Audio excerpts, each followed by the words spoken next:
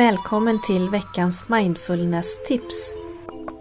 Vecka 17 Mindfulness förenklat. Det är inte alltid lätt att vara mindful.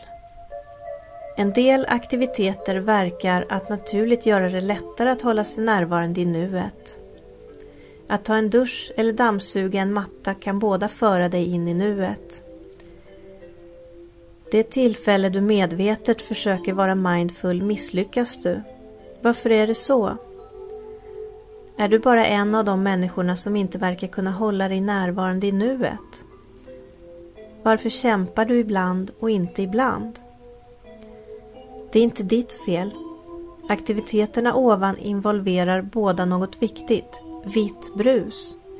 Ljudet från duschen och virvlandet från din dammsugare gör så att din hjärna får tillräckligt med statiskt ljud så att den skapar utrymme för att tänka enkelt.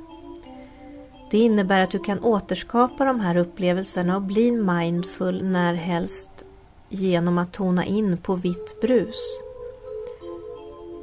Om du inte redan har en så finns det många appar för din telefon som spelar vitt brus. En del av de apparna är gratis. Du kanske vill prova några olika innan du väljer vilken som fungerar bäst för dina behov. Du kan också titta på Youtube eller videor med vitt brus. Du kan söka efter White Noise for Sleeping eller White Noise for Studying till exempel. Båda kommer att få upp många videor som kommer att göra det lättare för dig att komma in i ett medvetandetillstånd som är mindful. Fler tips för att förbättra ditt välmående på ett naturligt sätt hittar du på lighttransmission.se